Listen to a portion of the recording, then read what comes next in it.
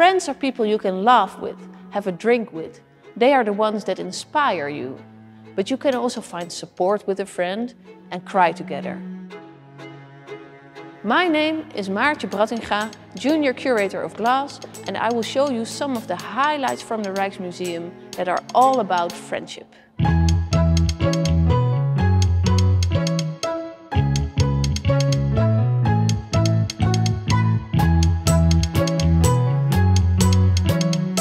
Who wouldn't have a drink with this man? The Merry Drinker by Frans Hals is considered one of his masterpieces because of the vivid way it's painted. By painting the left arm shortened, it almost seems like the man is reaching its arm towards us. It's an inviting gesture, like the man is saying, come and join me for a glass of wine. Now let's take a look at the glass he's holding. It's a so-called Berkemeyer.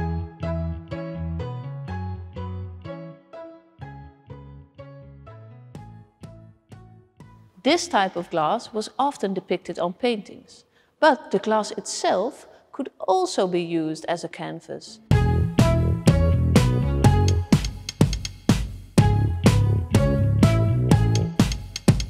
Anna Roemers-Visscher and her younger sister Maria Tesselschade were both very talented glass engravers in the 17th century. This type of glass is called a Roemer, and this particular glass was engraved by Anna.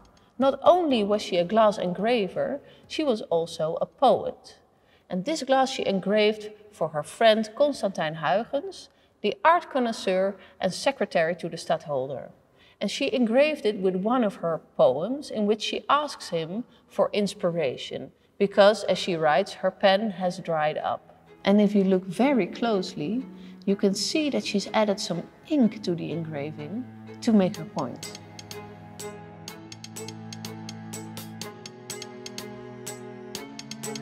Constantijn was a great admirer of Anna's poetry, and he encouraged her to keep writing after her mother had died, a dark period for Anna.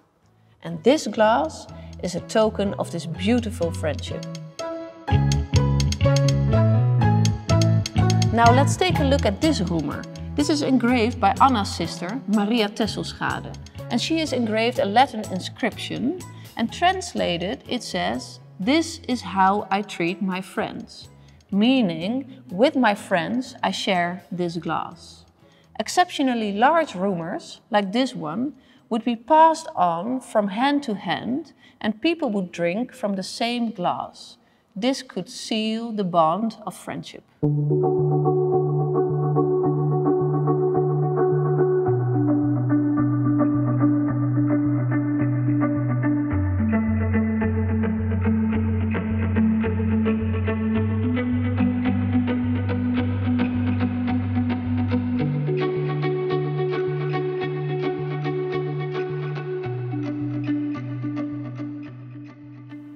Sometimes the more important things in life were depicted on the glass itself. In the 18th century we see a lot of glasses that depict the special moments in life, such as childbirth or wedding or even the safe passage of a ship. Friendship was one of the most popular themes on these type of ceremonial glasses. This glass is decorated with a stipple engraving, a very time-consuming technique that was practiced in Holland in the second half of the 18th century, more specifically in Dordrecht and The Hague. The engraver used a diamond point and with that instrument he would make tiny little dots called stipples. When placing the dots further from each other, uh, the glass would have a darker shade and closer to each other the glass would appear more light. On this glass we see two children making a toast. And when you look closely, you can see that not the entire image is built up of little dots, of stipples. You can see that the engraver uh, also used lines in the hair of the children, for instance.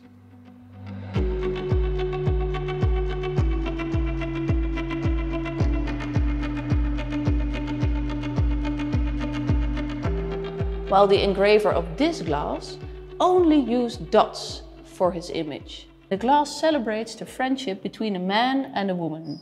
You can see that the man offers the woman a glass of wine while shaking her hand. And that was an uncommon scene on these glasses.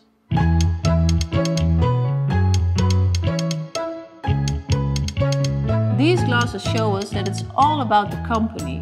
It's who you raise the glass with that's important, not just what's inside the glass. Also for the Rijksmuseum, friends are essential.